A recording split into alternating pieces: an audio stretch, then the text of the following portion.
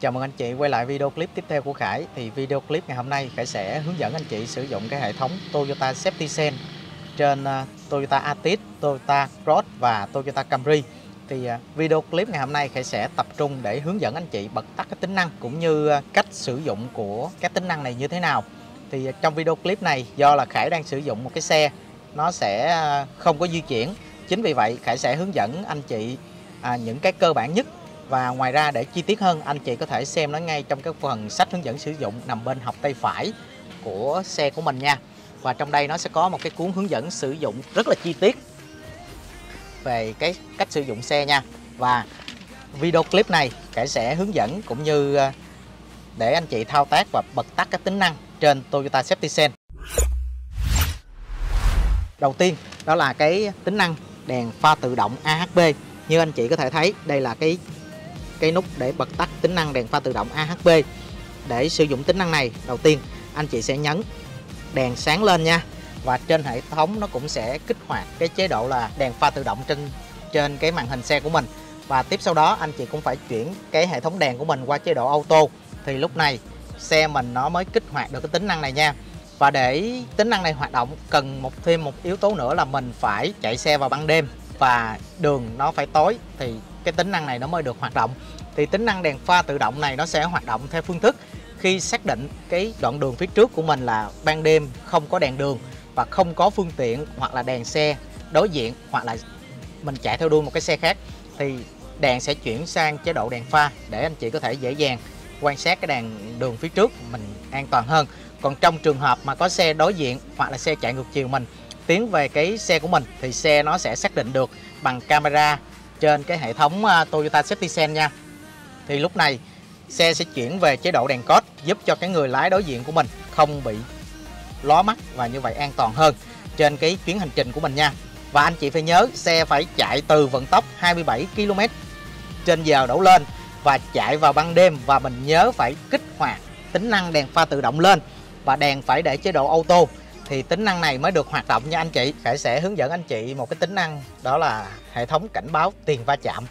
Thì à, trên Toyota Road anh chị sẽ có cái tính năng và trên cái Cross Camry hay là Altis mình sẽ có tính năng này. Thì à, tính năng này nó hoạt động dựa theo phương thức sẽ sử dụng cái radar và camera ở trên cái phần phía sau gương chiếu hậu của mình nha. Thì lúc này xe sẽ xác định dựa vào cái vị trí của vật thể phía trước. Nếu mà mình không có xu hướng phanh thì xe nó sẽ cảnh báo bằng một cái hình ảnh và âm thanh để cảnh báo cho mình biết là mình phải xử lý cái tình huống này. Còn trong trường hợp mà mình vẫn tiếp tục tiến tới cái vật thể phía trước thì xe nó sẽ tác động và nó hỗ trợ cái lực phanh mình, giúp mình có thể dừng trước chướng ngại vật như vậy. Anh chị có thể an toàn hơn và yên tâm khi lái xe. Và Khải cũng xin chia sẻ thêm một vài thông tin. Hệ thống Toyota Safety Sense chỉ là hệ thống hỗ trợ người lái chứ xe nó sẽ không điều khiển nên anh chị sử dụng xe chắc chắn phải lúc nào cũng phải tập trung lái xe. Và chỉ có những cái tình huống nếu mà thật sự là mình lơ là thì hệ thống nó sẽ can thiệp để có thể hỗ trợ mình. Nhưng anh chị vẫn phải tập trung để lái xe nha. Tính năng hệ thống cảnh báo tiền va chạm này anh chị hoàn toàn có thể bật tắt được trong cái phần màn hình cài đặt thông tin màn hình 7 inch của Toyota Cross trên Toyota Altis, Cross hay là Camry luôn nha anh chị. Thì uh, Bây giờ Khải sẽ hướng dẫn anh chị có thể bật tắt nếu mà anh chị nào sử dụng xe mà không quen với tính năng này, nếu mà nó có xử lý, anh chị thấy tính năng này nó quá phiền hoặc là không có muốn sử dụng thì có thể bật tắt nó bằng cái phương thức như sau ạ. À. Ở trên cái phần vô lăng, ở bên cụm tay trái thì mình sẽ có những cái nút để điều chỉnh cho cái phần màn hình thông tin. Bây giờ mình sẽ điều chỉnh quay lại nè. Rồi. Bình thường là màn hình của mình, ví dụ nó đang ở chế độ này đi ha Khải quay về cái à, cái phần, cái thông tin đầu tiên. Rồi, lúc này như anh chị thấy, để có thể à, điều chỉnh cái phần hệ thống này, mình sẽ vào, tiến vào cái khu vực. Đây, cài đặt nha, cái phần cuối cùng của cái phần màn hình. Lúc này, anh chị sẽ thấy một cái phần, cái chữ BCS đây là hệ thống cảnh báo tiền va chạm. Để bật tắt tính năng này, anh chị chỉ vâng chỉ cần nhấn nhẹ một lần vào nút OK ở đây. Lúc này, xe nó cũng sẽ tắt cái hệ thống cảnh báo tiền va chạm này đi nha đây, bây giờ khai tắt thử nè, anh chị nhấn. Thì lúc này cái đèn, cái cái hình cái đèn mà cái xe với có dấu ngôi sao, nó ốp đi, có nghĩa là hệ thống cảnh báo tiền va chạm của mình sẽ được tắt đi. Còn mình muốn bật lại thì mình chỉ việc nhấn một lần nữa là on ha. Và để à, điều chỉnh cái phần thời điểm cảnh báo của cái phần âm thanh và hình ảnh á, anh chị nhấn vào cái nút OK này, ngay cái một phần BCS này khoảng tầm 2 tới 3 giây. Lúc này xe nó sẽ chuyển vào chế độ là sensitivity có nghĩa là thời điểm cảnh báo nha. Rồi cái độ nhạy á, mình có thể điều chỉnh bằng cách nhấn vào một lần để thay đổi thời điểm cảnh báo là sớm muộn hay là trung bình nha. Đó như vậy là Khải sẽ để. Và anh chị cũng hãy nhớ là tính năng cảnh báo tiền va chạm này cũng sẽ tự động được hoạt động lại. Khi mà mình tắt máy xe đề máy một lần nữa thì tính năng này sẽ được kích hoạt lại đây là một tính năng mặc định sẽ được tự động kích hoạt khi anh chị tắt máy và nọ và khởi động lại động cơ một lần nữa nha. Và bây giờ Khải sẽ tiến theo một uh, tiến tới cái hệ thống thứ hai. Đó là cái hệ thống uh, điều khiển hành trình thích ứng hay còn gọi là Adaptive Cruise Control. Thì để sử dụng tính năng này anh chị cũng hãy nhìn vào cái phần cụm nút bấm bên tay phải của vô lăng. Thì ở đây mình sẽ có một cái phần nút cái hình ờ, cái chiếc xe này. Thì để sử dụng anh chị kích hoạt tính năng này lên. Thì lúc này, trên cái phần màn hình thông tin, mình cũng sẽ có một cái phần, cái đèn xe giống như cái nút hồi nãy mình thao tác cũng sẽ sáng lên ha. Lúc này, xe của mình sẽ được ở chế độ, gọi là chế độ chờ. Anh chị chạy từ tốc độ 30 km trên giờ đổ lên. Lúc này mình muốn set tốc độ, giữ tốc độ mong muốn là bao nhiêu. Thì mình chỉ việc nhấn vào cái nút này, set up một cái, thì xe nó sẽ giữ tốc độ cho mình ha. Và anh chị sẽ có một cái phần à, khu vực để hiển thị tốc độ, giữ tốc độ mà mình mong muốn ha. Lúc này mình nhấn set nha. Cả nhắc lại, đầu tiên, mình kích hoạt tính năng này lên. Đây, đèn sáng sẽ có một cái phần thông tin ha, radar ready ha. Rồi, sau đó mình sẽ chạy trên tốc độ 30 km nhấn vào nút setup thì xe nó sẽ giữ tốc độ mà mình mong muốn. Lúc này, anh chị muốn tăng tốc độ thì nhấn nút cộng một lần, xe nó sẽ tăng lên 1 km trừ là nó sẽ giảm đi 1 km và mình đè lúc này khoảng tầm 3 giây thì xe nó sẽ tăng lên tốc độ 10 km ha.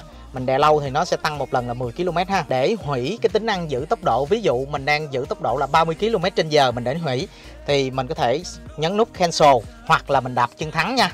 Mình có thể đạp chân thắng. Hãy nhắc lại, hủy thì mình có thể nhấn cancel hoặc là đạp chân thắng red này để sử dụng như sau. Khi mà anh chị đã đạp hủy cái tốc độ mà mình vừa mới giữ vừa mới đây ví dụ như lúc trước mình đang đạp là tốc độ giữ tốc độ là 30 km trên giờ. Xong sau đó mình muốn set tốc độ lại, nhưng mà mình muốn quay về cái tốc độ vừa mới hủy thì anh chị chỉ cần nhấn vào cái nút re, red này một lần nữa dùm Khải. Đây là reset up ha. Mình nhấn vào thì xe nó sẽ quay lại tốc độ cuối cùng mà xe nó đang giữ tốc độ lúc trước cho mình. Như vậy anh chị sẽ đỡ giảm thao tác hơn rất là nhiều. Và đối với Toyota Cross, Camry hay là Altis như cái xe Khải đang hướng dẫn anh chị đây thì xe mình sẽ có tính năng là giữ khoảng cách và canh khoảng cách, bám đuôi theo cái xe phía trước. Đây chính là cái nút canh khoảng cách giữa xe mình và xe phía trước ha. Thì lúc này, khi mà xe, cái phần màn hình thông tin của mình, nó sẽ hiển thị một cái xe mà nó bám được. Lúc này, anh chị có thể à, canh khoảng cách với xe phía trước bằng như sau. Anh chị nhấn vào cái nút này, thì trên đây nó sẽ hiển thị cho mình ba gạch màu xanh ha. Gạch màu à, đây, hãy nhấn lại cho anh chị xem nha. Mình nhấn vào cái nút này nha. Đây. Nhấn ở cái ba gạch là khoảng cách xa nhất. Hai gạch là vừa ha, và một gạch là gần nhất. Thì anh chị có thể sử dụng canh khoảng cách bằng cái nút này. Và Khải cũng xin nhấn mạnh lại lý do là xe hiện tại bây giờ ở đây của Khải là nó đang đậu. Nên đôi khi thì Khải chủ yếu là hướng dẫn anh chị sử dụng cũng như bật tắt cái tính năng này. Còn cái thao tác trực quan hơn thì chắc có lẽ là Khải sẽ làm trong một cái video clip à, sau đó nha khi mà có xe để lái thử thì Khải sẽ quay clip để hướng dẫn anh chị chi tiết hơn một chút để sử dụng cái tính năng này ha. Là anh chị có thể sử dụng được cái tính năng này và anh chị có thể biết được cái xe của mình nó có đang bám đuôi theo cái xe phía trước hay không bằng một cái hình ảnh trên cái phần màn hình ở trên đây nha anh chị. Và sau khi mình không sử dụng tính năng này nữa mình hãy tắt nó đi. Thì mình nhấn vào cái nút này một lần nữa nha. Và lúc này đèn cái phần đèn hình à, cái ga tự động nó sẽ được tắt đi. Và anh chị cũng hãy nhớ đối với cái tính năng ga tự động thì mình phải chạy ở ngoài đường cao tốc thì như vậy nó cũng sẽ an toàn hơn một chút xíu nha. Rồi bây giờ Khải sẽ qua một cái hệ thống tiếp theo, đó là hệ thống giữ làn đường và cảnh báo dịch làn đường. Thì để à, có thể sử dụng được tính năng này, anh chị hãy nhớ là xe của mình phải chạy ở trên đường cao tốc và tốc độ phải từ 50 km h thì lúc này cái hệ thống camera ở trên cái phần của hệ thống Toyota Safety Sense thì nó mới đọc và kích hoạt tính năng này lên nha.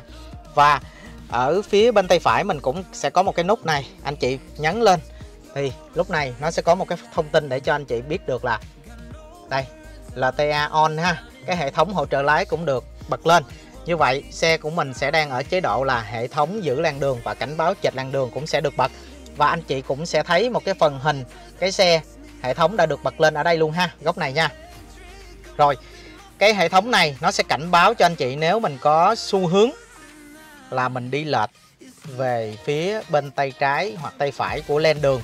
Thì lúc này camera nó sẽ dựa vào đó để nó quan sát và nó và nó thấy, nó sẽ cảnh báo cho anh chị bằng một cái hình ảnh cùng với sẽ hỗ trợ đánh lái để mình có thể về giữa len đường, giúp anh chị có thể an toàn để lái xe hoặc là nếu mình lỡ lơ là mình có cuộc gọi tới hoặc là có cái vấn đề gì đó, thì lúc này xe nó cũng sẽ cảnh báo và hỗ trợ đánh lái cho anh chị một phần.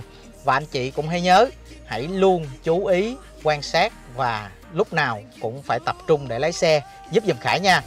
Và tính năng này anh chị hoàn toàn có thể bật hoặc là tắt hoặc là cài đặt cái phần, trong cái phần cài đặt của xe. Thì mình cũng sẽ vào cái phần mục cài đặt ở trên cái phần màn hình thông tin bằng cái núm điều chỉnh bên tay trái của phía vô lăng nha. Mình sẽ vào phần cài đặt đây. Và ngay phần đầu tiên, anh chị có thấy chữ LTA không ạ? À? mình nhấn vào giúp dùm Khải nha. Đè khoảng tầm 2 giây, thì trong đây mình sẽ có rất là nhiều cái mục. Đầu tiên, Khải sẽ chia sẻ Lane Center, có nghĩa là hệ thống giữ làn đường. Thì anh chị muốn bật tắt, thì chỉ việc nhấn một lần. Ha, on hoặc off. Phần phía dưới steering assist, có nghĩa là hỗ trợ đánh lái. Nếu anh chị không bật cái tính năng này lên. Ha anh chị không bật tính năng này lên thì xe nó sẽ tắt cái tính năng. Không có hỗ trợ đánh lái cái vô lăng của mình nữa. Anh chị nhớ nha. Rồi, và phía dưới mình sẽ có một cái phần đó là chỉnh cái thời điểm. Anh chị chỉ việc điều chỉnh một nhấn một lần hoặc là hai lần để điều chỉnh cái thời điểm cảnh báo. Và phía dưới một cái mục tiếp theo đó là quay warning có nghĩa là hệ thống cảnh báo lắc xe và hệ thống này cũng chỉ hoạt động ở từ tốc độ 50 km h nếu mình chạy trên đường. Xe mình có cái vấn đề rung lắc thì nó cũng sẽ cảnh báo cho anh chị bằng một cái hình, một cái tách cà phê để anh chị có thể biết được ha.